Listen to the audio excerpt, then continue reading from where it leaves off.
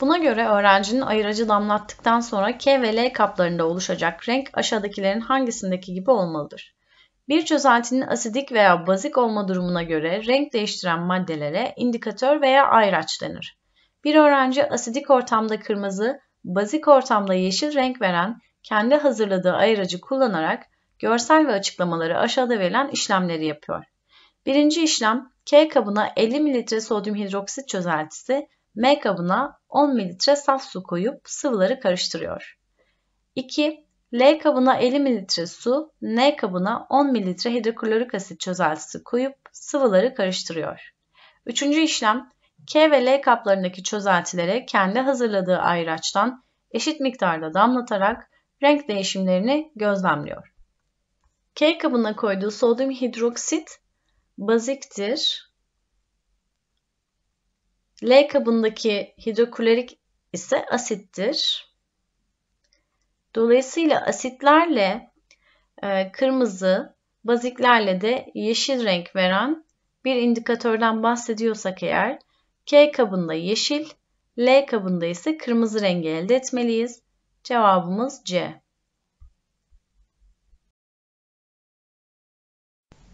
Sadece verilen maddelerle ilgili aşağıdaki ifadelerden hangisi doğrudur?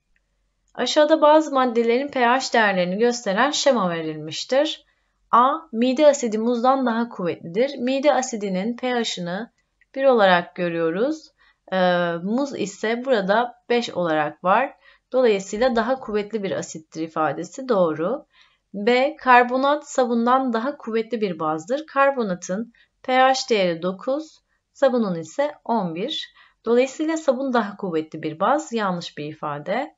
C. Meyve ve sebzelerin tamamı asit özelliğindedir. Evet bunların genelde aside e, daha yakın olduğunu görüyoruz. Ancak buradaki brokoli örneği bu ifadeyi yanlış kılmakta. D. pH değeri 7 ve daha büyük olanların tümü baziktir. 7'den büyük olanların tümü baziktir. Ancak 7 nötrdür.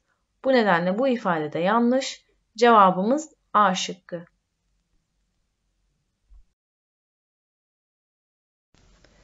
Buna göre K, L ve M maddelerinin türleriyle ilgili aşağıdaki ifadelerden hangisi yanlıştır? Turnusol kağıdı bir maddenin asit veya baz olduğunu belirlemek için kullanılan bir ayraçtır. Kırmızı turnusol kağıdının rengini maviye çeviren maddeler bazik, mavi turnusol kağıdının rengini kırmızıya çeviren maddeler asidiktir.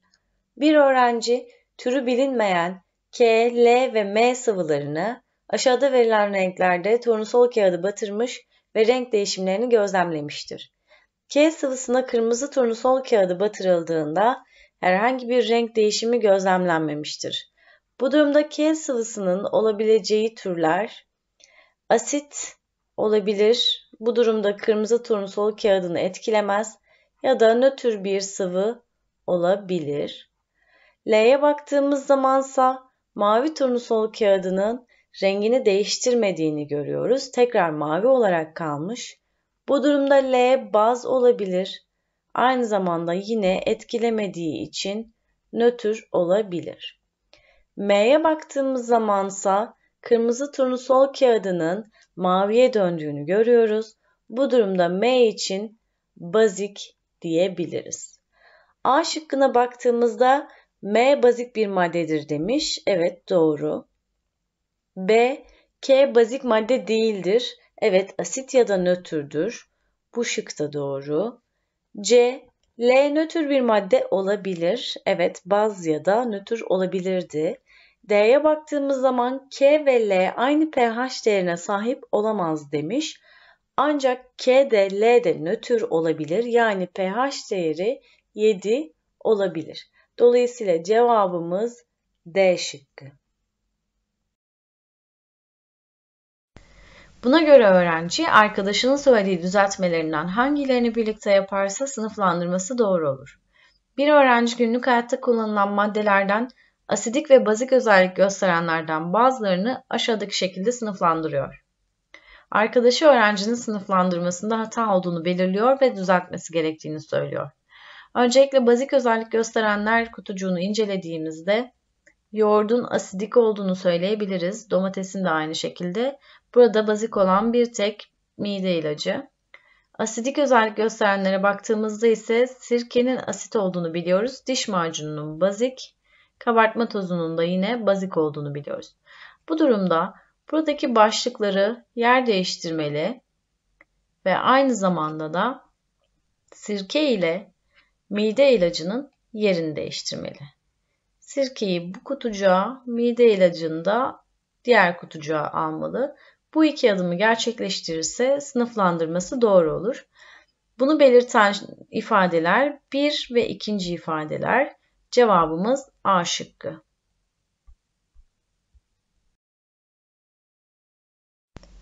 Buna göre çözeltilere daldırılan pH kağıtlarındaki renk değişimi aşağıdakilerin hangisinde gösterildiği gibi olabilir. Aşağıda pH kağıdının farklı pH değerlerinde aldığı renk değişimleri gösterilmiştir.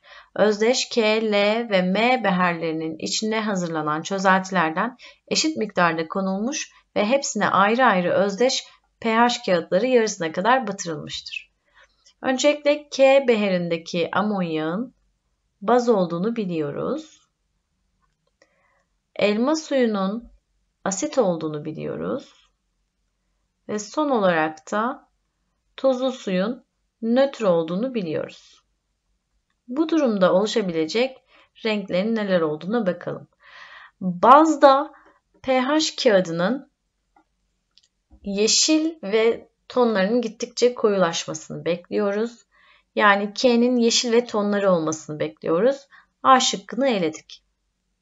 Elma suyu asit demiştik. Dolayısıyla turuncu ve turuncudan pembeye doğru giden bir renge sahip olmalı. Ee, burada da D şıkkını eliyoruz. Burada yeşil bir renk var. Ve son olarak tuzlu suyun e, pH kağıdını değiştirmemesini bekliyoruz. Bu da B şıkkında mevcut. Cevabımızı bulmuş olduk. Buna göre kutucuklarda yer alan maddeler ile ilgili olarak yapılan aşağıdaki çıkarımlardan hangisi yanlıştır? Aşağıdaki numaralandırılmış kutucuklarda günlük hayatta kullanılan maddeler ve bu maddelere ait pH değerleri verilmiştir. A. 1 ve 5 kırmızı turnusol kağıdının rengini maviye dönüştürür. 1'e baktığımızda portakalın asit olduğunu görüyoruz. 5'e baktığımızda yağsız sütün de yine asidik olduğunu görüyoruz. Asit kırmızı turnusol kağıdını maviye dönüştürür demiş. Ancak asitler kırmızı turnusol kağıdını maviye dönüştürmezler. Mavi turnusol kağıdını kırmızıya dönüştürürler. B. Altı dışındaki maddelerin sulu çözeltileri elektrik akımını iletir. Altı saf sudur. Saf su elektrik akımını iletmez. Asitler ve bazların sulu çözeltileri elektrik akımını iletir. Doğru. C. 3 verilen maddelere göre pH cetvelinde en sağda bulunur. 3'e baktığımız zaman lavabo açıcı ve pH değeri en büyük olan. Dolayısıyla da 7'nin sağında ve pH metrenin de en sağında verilenler arasında en sağında bulunur. D. 2, 4 ve 6 mavi turnusol kağıdının rengini değiştirmez. 2 baziktir. 4 yine baziktir. 6'ya baktığımız zaman o da nötrdür. Dolayısıyla e, bazlar mavi turnusol kağıdını etki etmez. Kırmızı turnusol kağıdını etki eder. Aynı şekilde nötr maddelerde turnusol kağıdını etki etmeyecektir. O yüzden değişmeyecek. Cevabımız A şıkkı. Buna göre uygulanacak aşağıdaki yöntemlerden hangisi sıvı türünü belirlemek için uygun değildir? Kuvvetli asitler ve bazlar cilde temas ettiğinde zarar verir. Dokunma, tatma veya koklamanın insanlara zarar vereceği bilinen bir sıvının asit, baz veya tuzlu su olduğu belirlenmek isteniyor. A. pH metre ile pH değerinin ölçülmesi. Bunda herhangi bir sıkıntı yoktur. Gayet güvenli bir yöntemdir. B. Turnusol kağıtları ile renk değişimlerinin bakılması. Bu da güvenli bir yöntemdir ve karar vermemizi sağlar. C. İçine metal atılıp herhangi bir değişim olup olmadığına bakılması. Bunu da kullanabiliriz. Belki bu sayede maddenin asit olup olmadığını anlayabiliriz. D. Elektrik devresi kurulup lambanın ışık verip vermediğine bakılması. Hayır. E, asit baz ya da tuzlu su olduğunda bunların sulu çözeltilerinde üçünün de e, ışık vereceğini bildiğimiz için bu uygun bir yöntem olmayacaktır. Cevap D şıkkı. Verilen habere göre asit ve bazların aşağıdaki özelliklerinden hangisine vurgu yapılmıştır? Aşağıda asit ve bazların etkileriyle ilgili bir gazete haberi verilmiştir. Dün gece saatlerinde hastanenin acil servisine kaldırılan bir kadının bilinçsizce kullandığı temizlik maddelerinden dolayı zehirlendiği tespit edildi. Genç kadının banyo ve tuvaleti temizlemek için tuz ruhu ve çamaşır suyunu karıştırması sonucu açığa çıkan klor gazından dolayı zehirlendiği belirtildi. Genç kadının evinde yapılan inceleme sonucu farklı kimyasalların karıştırılmasından dolayı ortaya çıkan klor gazı zehirlenmesi özellikle astım ya da kronik bronşit hastalarında solunum yolunu daraltmasından dolayı nefes alınamamasına sebep olmaktadır ifadelerine yer verildi. A. Asit ve baz içeren maddelerin karıştırılması sonucu zararlı gazlar açığa çıkmaktadır. Tuz ruhu asit, çamaşır suyu ise bazdır. Bunların karıştırılması tehlikelidir. Birbirlerine karıştırılmadan kullanılmalıdır. Bu ifade doğru. Buna oldukça vurgu yapılmış. B. Asit yanıklarına karşı ilk müdahale olarak yanık bölgesi bol su ile yıkanmalıdır. Bundan bahsedilmiyor. C. Asitler metal kaplara zarar verdiğinden bu kaplarda taşınmamalıdır. Bundan da bahsedilmiyor. D. Bazlar porselen ve cam yüzeyleri aşındırır. Bununla ilgili herhangi bir durumda söz konusu değil. Cevap A şıkkı.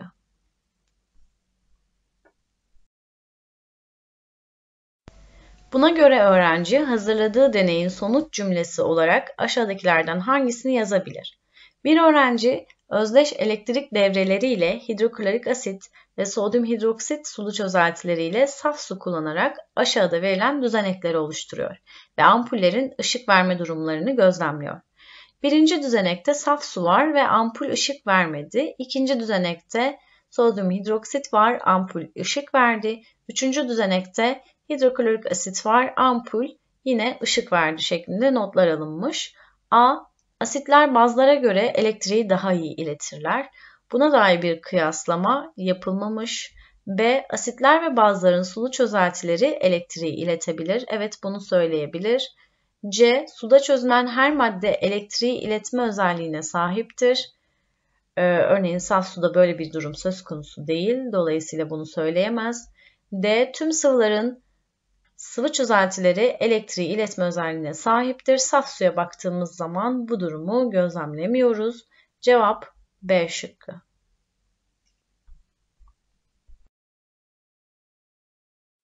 Buna göre hazırlanan belirteçler kullanılarak yapılan işlemlerle ilgili olarak verilen aşağıdaki ifadelerden hangisi yanlıştır? Farklı bitkilerin özütleri kullanılarak hazırlanan belirteçlerin asit ve bazlarda oluşturduğu renk değişimi aşağıdaki tabloda verilmiştir. Şimdi A şıkkına bakalım.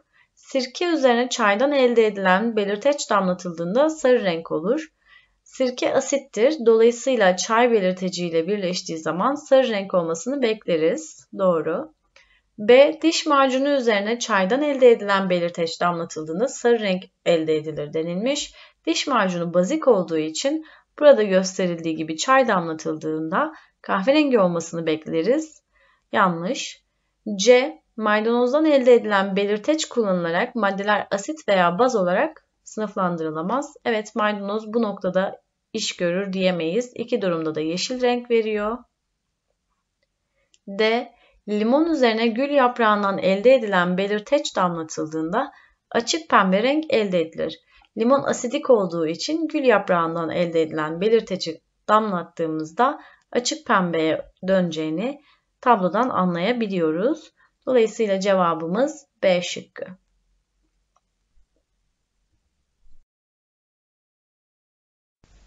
Buna göre K, L ve M çözeltileri ile ilgili olarak yapılan aşağıdaki çıkarımlardan hangisi yanlıştır? Sulu çözeltilerinde ortama H artı iyonu veren maddelere asit, sulu çözeltilerinde ortama OH eksi iyonu veren maddelere baz denir.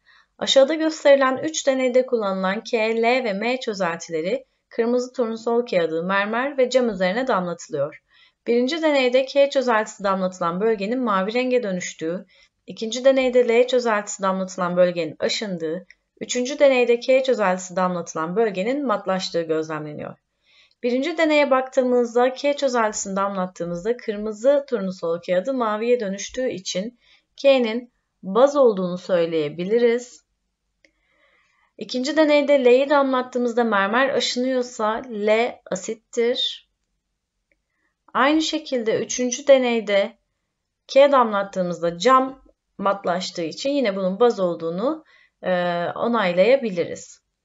Buna göre A, M çözeltisinin pH değeri 7'dir denilmiş. pH değeri 7 olabilir çünkü ne mermeri ne de camı etkilememiş. Dolayısıyla 7'dir diyebiliriz. K çözeltisinin pH değeri 7'den büyüktür. K çözeltisi baz olduğu için pH değeri 7'den büyüktür. C şıkkına baktığımızda L çözeltisi mavi turnusol kağıdının rengini kırmızıya çevirir. Evet asitler mavi turnusol kağıdının rengini kırmızıya çevirirler. D. K çözeltisinde H artı iyon sayısı OH iyonu sayısından fazladır. Yani K çözeltisinin asit olduğunu söylüyor. Bu ifade yanlış. Biz K çözeltisini baz olarak bulmuştuk. Cevabımız D şıkkı. Buna göre X ve Y çözeltileri ile ilgili ifadelerinden hangileri söylenemez? Ayraç olarak kullanılan metil oranj asitlere döküldüğünde çözelti rengini kırmızıya, bazlara döküldüğünde çözelti rengini sarıya dönüştürür. Hazırlanan bir deney düzeneğinde X ve Y çözeltileri üzerine metil oranj damlatıldığında X çözeltisinin sarı, Y çözeltisinin kırmızı renge dönüştüğü gözlemleniyor. Bu durumda X çözeltisinin baz olduğunu, Y çözeltisinin ise asit olduğunu söyleyebiliriz. Birinci ifadede X ve Y çözeltisi karıştırılırsa birbirleriyle tepkimeye girerler denilmiş. Evet asit ve bazlar birbirleriyle tepkimeye girer. 2. X çözeltisi metal ve mermer yüzeyleri aşındırır. X çözeltisi baz olduğu için cam ve seramik yüzeyleri matlaştırır. Metal ve mermerlere zarar vermez. Bu ifade söylenemez.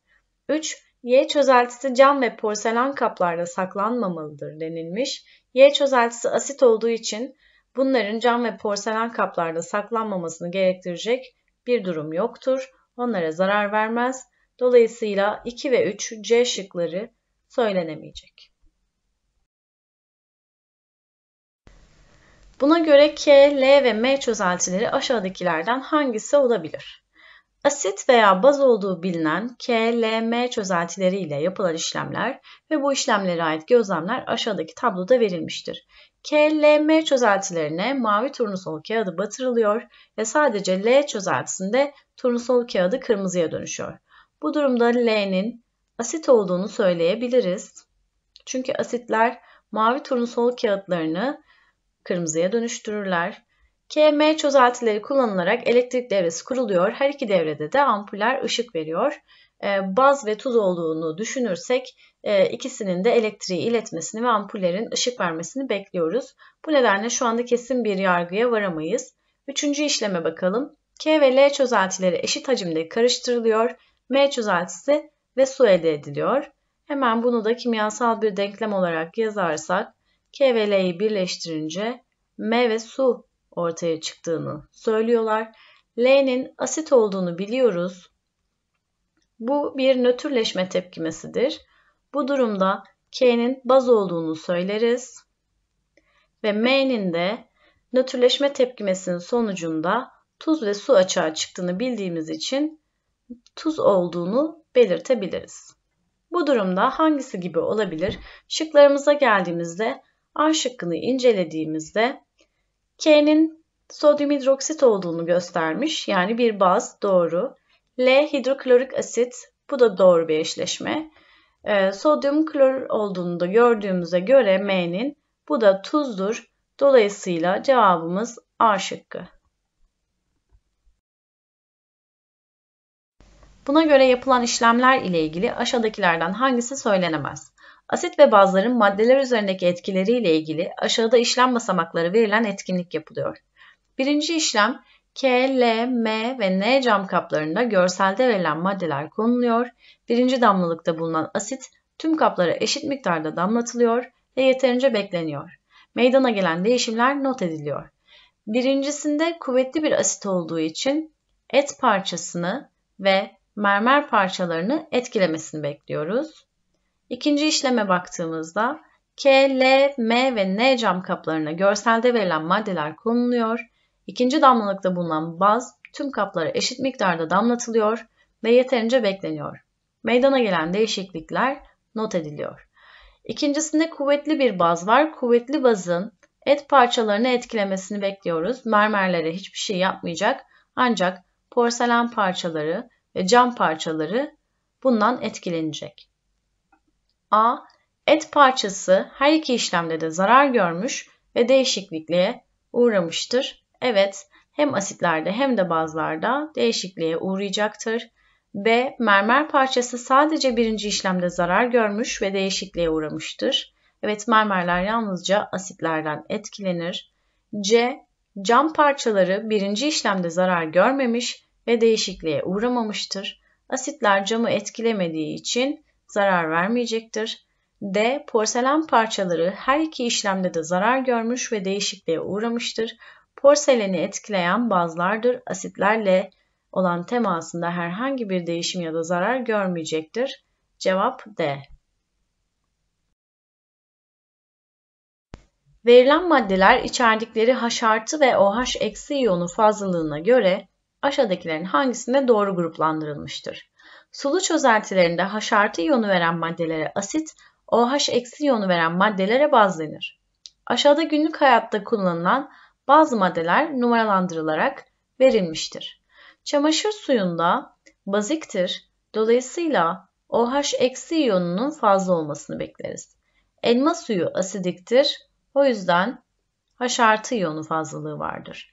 Limon da asidiktir, bu nedenle tıpkı elma suyunda olduğu gibi H artı iyonu verecektir.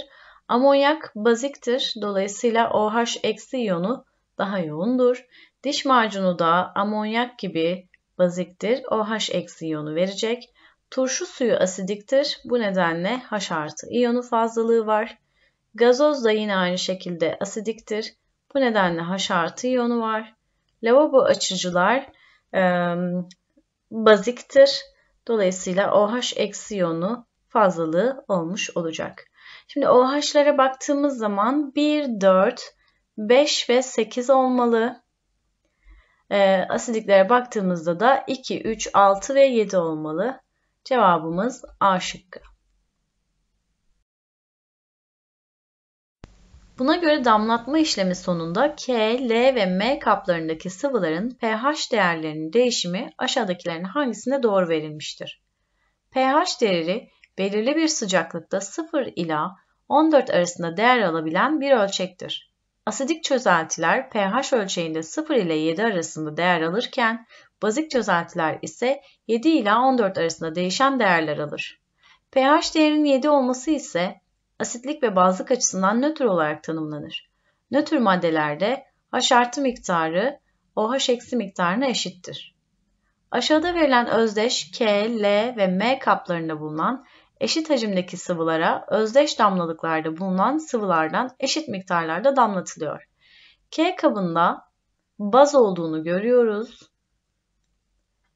L kabında asit ve de M kabında nötr bir madde olduğunu görüyoruz. Öncelikle K kabına asit damlatıldığını görüyoruz. L kabına saf su yani nötr bir madde damlatılıyor. Ve de M kabına bazik bir madde olan amonyak konuluyor. Öncelikle buradaki pH değerlerinin nasıl değiştiğini yorumlayacak olursak ve K kabına bakarsak baz olan amonyak içerisine asit koyduğumuzda pH değerinin azalmasını ve 7'ye doğru yaklaşmasını bekliyoruz. Dolayısıyla pH'in azaldığı şıklar B ve C'den biri olmalı. Asit olan bir sıvının içerisine nötr bir şey koyarsak e, L kabı içerisindeki pH değerinin 7'ye yaklaşmasını bekliyoruz. Bu nedenle de pH'inin artmasını bekliyoruz. Saf su olan M kabına baz eklersek yine aynı şekilde bazın değerine daha yakın bir değer alacağı için e, pH değeri artacaktır. Cevabımız C şıkkı.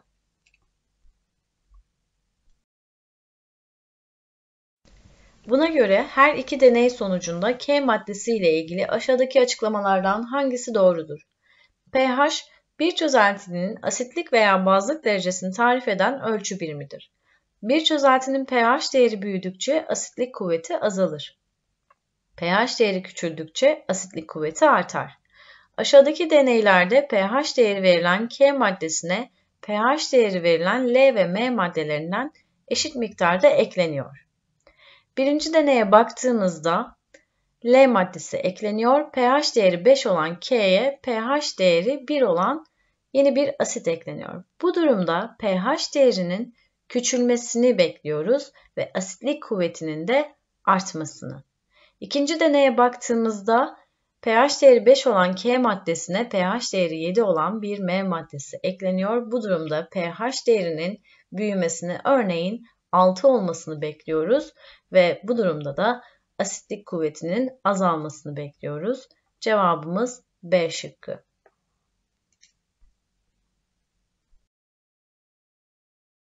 Buna göre özellikleri verilen maddelerin oluşturduğu karışımlarından hangilerinde nötrleşme tepkimesi meydana gelebilir?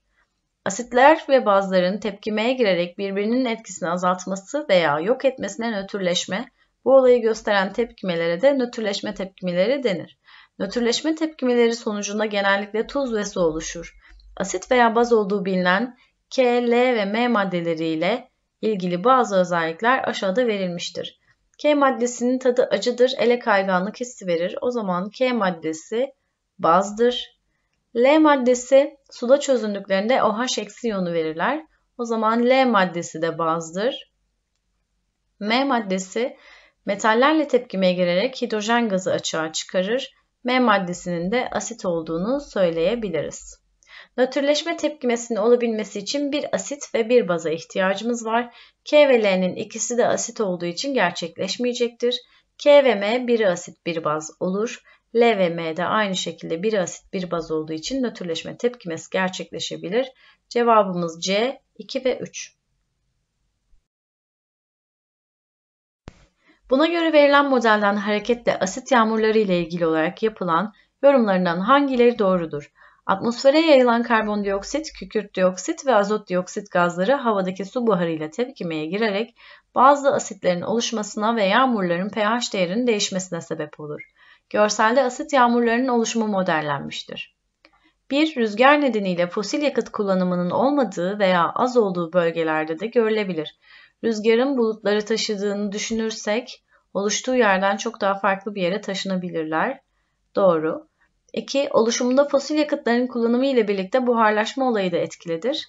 Evet fosil yakıtlar havaya e, bu gazları salıyor ancak buharlaşmanın etkisiyle de bulutlar oluşuyor. Birliktelik yaşıyorlar. Bu nedenle etkili olduğunu söyleyebiliriz. 3. Sadece sanayisi gelişmiş bölgeler için çevre sorunu oluştururken gelişmemiş bölgeler için çevre sorunu oluşturmaz. Hayır bu global bir sorundur. E, bu modele bakarak da yalnızca bu modele bakarak da rüzgarın etkisiyle e, bu tarz problemler yaşamayan yerlerde de görülebileceğini fark edebiliriz. Dolayısıyla cevabımız 1 ve 2 B şıkkı.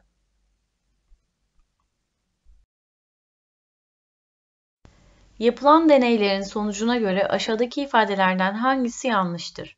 Asit, baz ve nötr maddeleri birbirinden ayırmak için kullanılan maddelere belirteç denir. Aşağıdaki tabloda bazı belirteçlerin asidik ve bazik ortamda oluşturdukları renk değişimleri verilmiştir. Bir öğrenci türü bilinmeyen maddelerin sulu çözeltileriyle ilgili aşağıdaki deneyleri yapmıştır. Birinci deneyde çözeltiye kırmızı ve mavi renkte iki farklı turnusol kağıdı batırdım. İkisinde de renk değişimi olmadı. Bu durumda burada nötr bir madde olduğunu söyleyebiliriz. İkinci deneye bakalım. Çözeltiye metil oranj damlattım. Çözelti kırmızı renge dönüştü. Metil oranjın kırmızı olduğu durumda çözeltinin asit olmasını bekliyoruz. Yukarıdaki tablodan teyit ediyoruz. Üçüncü deneyde çözeltiye fenolftalin damlattım. Çözelti pembe renge dönüştü. Çözeltinin pembe renge dönüşebilmesi için burada bu çözeltinin bazik olmasını bekliyoruz. Şimdi şıklara bakalım. A. 3 deneyde de kullanılan çözeltiler elektrik akımını iletir. Evet iletebilirler. Sulu çözeltileri elektrik akımını iletir. B. 3 deneyde de çözeltilerdeki maddelerin asit, baz veya nötr madde olduğu anlaşılabilir. Evet belirteçler sayesinde anlayabildik. C. 2 ve 3. deneylerde kullanılan çözeltileri oluşturan maddelerden kuvvetli olanları insanlara zarar verir. Evet, hem kuvvetli bazlar hem de kuvvetli asitler insan sağlığı için zararlıdır. D. 1 ve 2. deneylerde kullanılan çözeltileri oluşturan maddelerden kuvvetli olanları plastik ve cam eşyalara zarar verir. Ee, birinci deney zaten nötr bir maddeydi, ikinci deneyde asitti. Dolayısıyla cam eşyaya ya da plastik eşyaya zarar vermeyecektir. Yanlış olan D şıkkımız.